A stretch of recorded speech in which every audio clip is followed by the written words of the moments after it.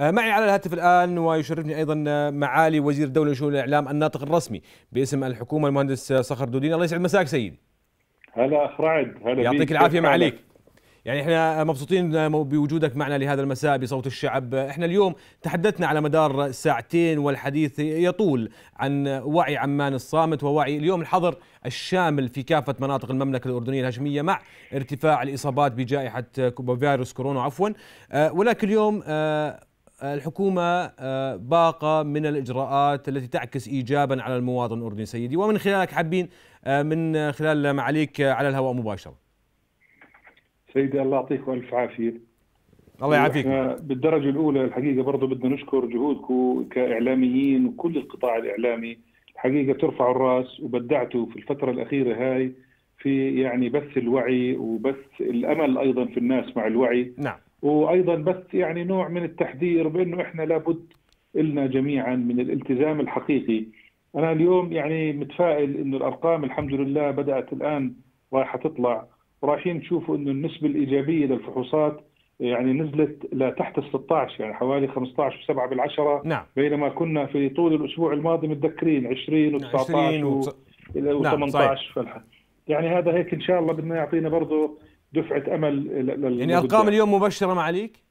الأرقام أحسن بكثير إن شاء الله الحمد لله بحدود 6400 واحد تقريبا الوفيات نعم. لا زالوا عاليين 97 رحمهم الله الله يرحمهم جميعا جميع. ويعني إن شاء الله إنه يتغمدهم ربنا بواسع رحمته اللي بدي أقوله إحنا الحقيقة يعني بدنا نعطي الأمل وإحنا كلنا متفائلين مع بعض إنه إحنا بدنا نذهب إلى صيف آمن بإذن الله. إن شاء الله. للذهاب لهذا الصيف الآمن لابد أخي الكريم لكل إخواننا الأحبة المواطنين من الالتزام بمسارين متلازمين متزامنين.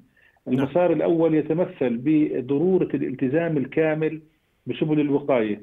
الوقاية إخواني الكمامة التباعد غسل الأيدي والالتزام بأوامر الدفاع اللي هي مصممة أساسا لحماية صحة الإنسان ولسلامة الجميع نعم صحيح. رزقه هذا المسار الأول المسار نعم. الثاني اللي أيضا بنرجوهم فيه هو موضوع المسارعة في التسجيل بمنصة التطعيم لأنه نعم. التطعيم هو حماية لك بالإضافة للوقاية اللي أنت بتعملها بأساليب الحماية فهذول الاثنين إن شاء الله إنهم وصلونا إنه نصل لصيف آمن وأيضا الحكومة بإذن الله الأسبوع القادم أيضا ستعلن عن بعض الإجراءات اللي هي بدها تخفف على جيب المواطن اللي برضه تمكنه إنه يعني يضلوا زي ما بيقولوا طايش فوق المي بدناش. إحنا لا سمح الله مع الأمور الاقتصادية التعبانة اللي إحنا عارفينها إنه الواحد هاي الأمور تشده للأسفل. لا إحنا بدنا نصعد للأعلى بإذن الله وبدنا يعني معليك سيشعر المواطن بهذه الإجراءات أو القرارات؟ سيشعر إن شاء الله فيها. أنا الآن ما بقدر أعطي تفاصيل لأنه إحنا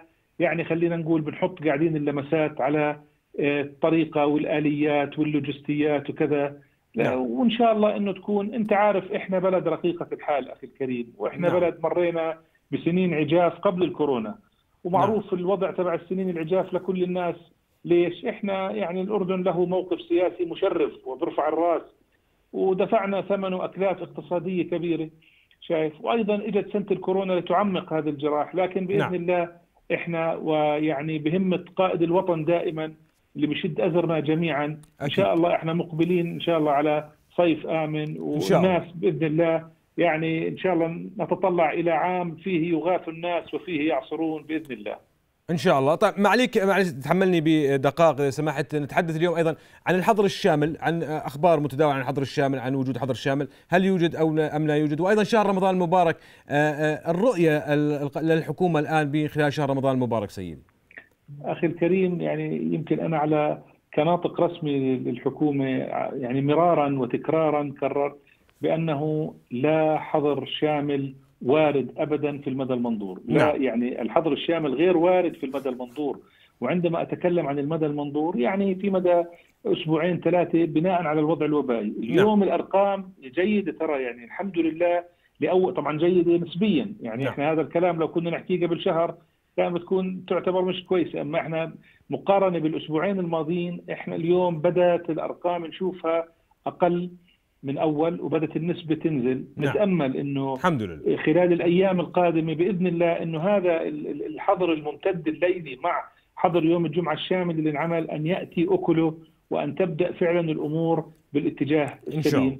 وبإذن الله يعني لا أنا بطمن الناس يعني هذا حظر شامل. أنا بدي يقيموه من راسهم ما يخافوا من موضوع حظر شامل. الحظر الشامل غير والد لأنه إحنا يا إخوان عارفين اولا إنه وضعنا الاقتصادي لا يسمح على الإطلاق بذلك. وضع الناس الاقتصادي والنفسي إحنا الوضع النفسي مهم جدا أيضا للناس لا يسمح بذلك. وإحنا يعني مقبلين على صيف بدنا نفتح فيه فإحنا ما بدنا نقعد نسكر وكذا. لكن بإذن الله يعني إحنا أيضا مدركين إنه الناس اليوم بدوا يشعروا في موضوع ضرورة الالتزام بوسائل الحماية وبالأمور هاي صاروا حاسين فيها تماما ليش؟